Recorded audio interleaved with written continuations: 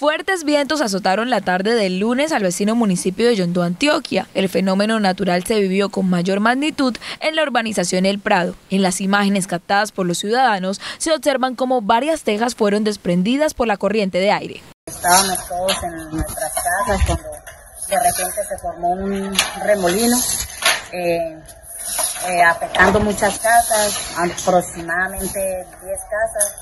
Eh, y todos, pues todos estamos acá consternados por lo que está pasando y, la gente pues está recogiendo todas, todas las tejas que se dañaron y todo.